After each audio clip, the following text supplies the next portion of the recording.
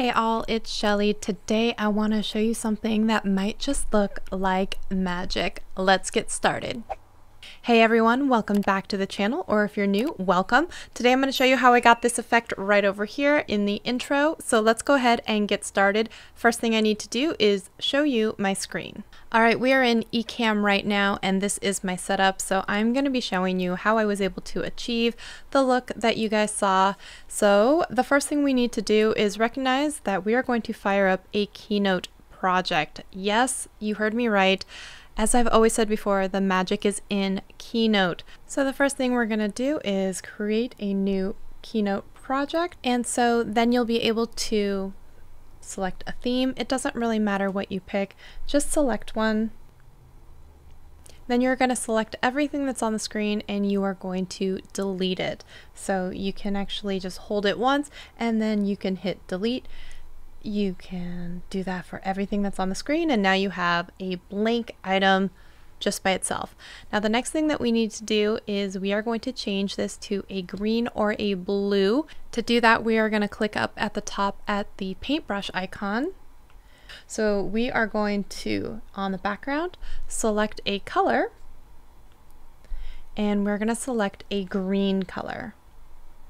All right, that looks good there. The next thing we're going to do is make sure that the settings for the slide are set to 16 by 9. You just want to make sure. So again, we'll go back up to those triple dots and then we're going to make sure on the, oh, hopefully you're going to be able to see it here. This is going to be under document setup. So along the bottom, you're going to see themes and then you're going to see slide size right here. So we're going to make sure we select that and then your aspect ratio here needs to be in 16 by 9. And keep in mind, this is also where you would change this if you were going to do the hack like I've shown you before, insert a video and export or something with a green screen. This is also the same place where you do that. So we're good to go with 16 by 9. All right, and we're gonna hit done. So this is perfect. Now that we have our slides, another thing that you can do is hold on to one of those uh, slides that's up in the upper left hand corner in the list and just duplicate it.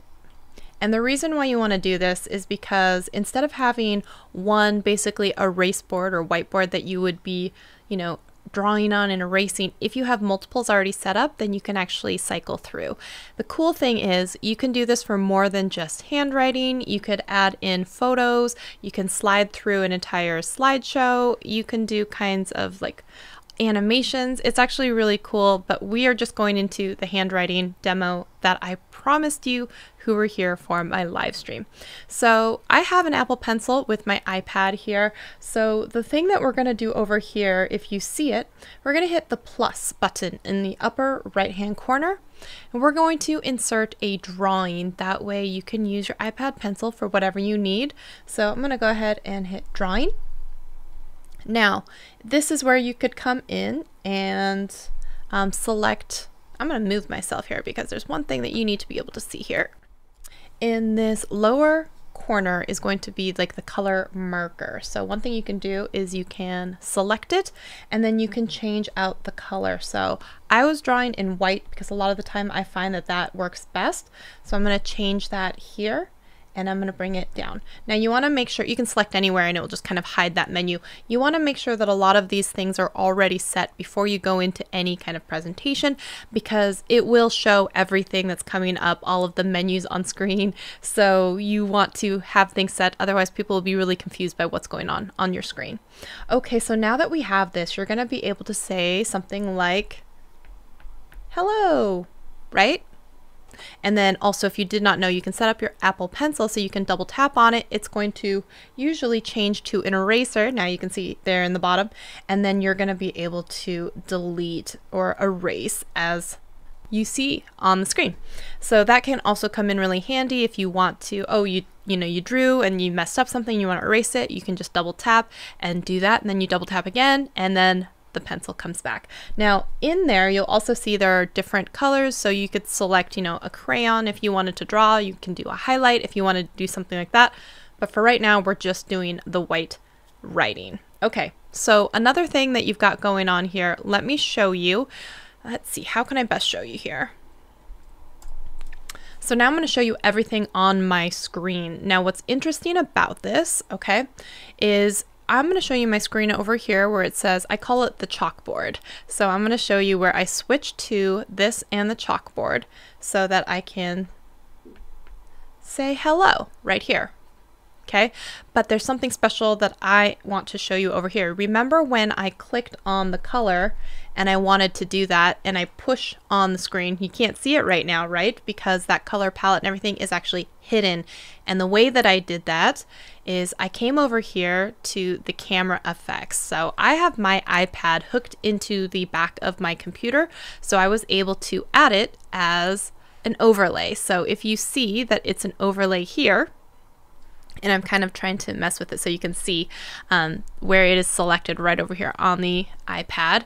If I were to, there you go, show you everything that's on the iPad, right? And add it again. Now you can see all of those menus and items on the bottom, but that doesn't look very good. You don't want that, right? I'm gonna take this off real quick. So I wanna show you what it looks like. All right, so the reason why you don't see all of that stuff is if you come over here after I've added the iPad and then over here, see in the camera effects, I go and under this option here, I say that we're gonna apply a green screen. Now, this could also work if you do a blue background. So it's either green or blue. So there may be reasons why you want to do that. Maybe you're wearing a lot of blue, green. You could do one of each. Doesn't matter. Or maybe it's, you know, indifferent from what you're writing. Um, there are times when you would want to do one versus the other. So you can come in here, you select the green screen. Here, I want to show you. There you go. And then you're going to hit the fade level. So sometimes you may see some weird feathering and such. So you can play with the levels here. And then I select it so it's transparent so you can see me and it. And then what I did here, this is important, on the zoom and pan, I selected this, and then you can see as much of my screen here along with that, that color palette down here, right?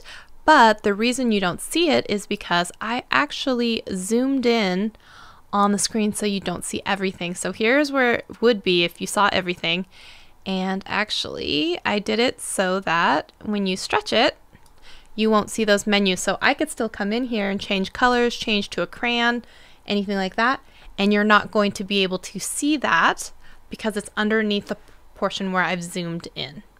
Now, one thing you do want to keep in mind is as you're going through different tools, if you select it and hold it, you'll then be able to have the thickness of your stroke be changed here and also the opacity. So if you want to make sure that it's like super skinny, you can do that, but I don't think it shows up as well. So I like to go back and make sure that it's it's on one of the thicker ones. That way you can actually see it show up. So just as a keep that in mind when you go through, you're going to be able to select how much um, hopefully. Oh yeah, you can't see that one because it's green. Well, there you go. It makes sense.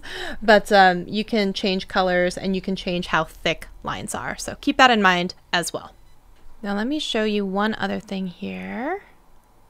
Not this one, but I'm going to zoom out for a second so you guys can see what's going on on the keynote presentation here.